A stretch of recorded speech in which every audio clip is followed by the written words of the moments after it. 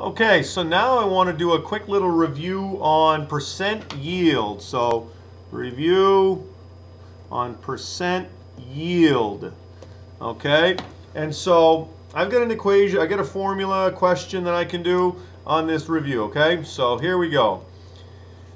If 17.3 grams of antimony is recovered in a, in a lab along with carbon monoxide, when 28.1 grams of tetraantimony hexoxide reacts with excess carbon, what's the percent yield of this experiment? So lots of words, words, words. Let's take out what's important.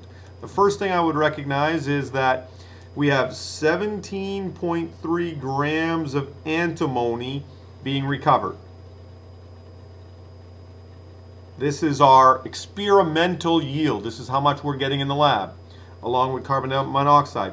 That is giving us our equation, carbon monoxide. Otherwise, that carbon monoxide is really kind of, I don't want to say useless because it's important, it's part of the reaction, but we don't have any amounts of it. It's just part of the product.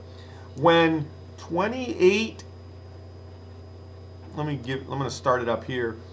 Uh, when 28.1 grams of tetraantimony hex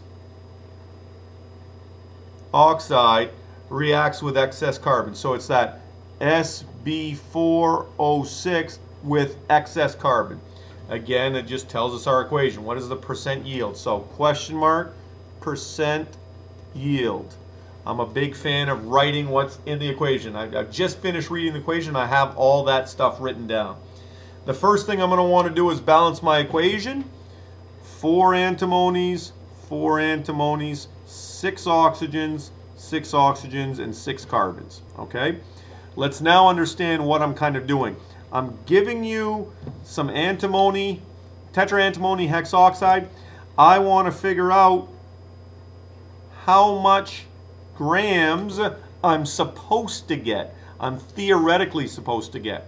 So really it's just a grams to moles, moles to moles, moles to grams, and then I'll be able to compare my theoretical and my amount recovered. So let's go ahead and do that. Uh, I think green will show up good. So X line grams SB4O6 moles SB4O6. I did this one. Let's see if I can read it. 584. 1 for moles. 584. Um, when I divide that, I get 0.048 moles of SB4O6. Then I'm going to now convert from moles to moles. Next line, moles of SB4O6, moles of SB, my antimony, what I'm looking for. So 4 and 1, this is from our coefficients of our balanced equation. So I'm now going to multiply by 4, 0.194. I keep this right on my calculator when I'm doing it. It's just so much easier. So moles of antimony. Now I'm going to X line, moles antimony, grams antimony, 1 and what is it, 122 grams. All right, so 122, multiply those two and I get, uh, I can't quite see, yep, 20,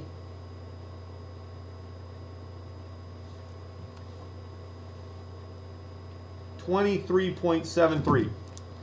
23.73 grams of antimony. This right here is my theoretical yield, how much I'm supposed to get. Okay? And that might be a question of how much are you supposed to get. Now I want to know my percent yield, which is going to be that percent yield is my experimental over my theoretical times 100 to get my percentage. So I'm going to take that 17.3 grams that I was given over my 23.73 grams. Multiply that by 100 and I get 72.9% yield. And there would be my percent yield review. Hopefully comfortable enough with that as well. All right, very good.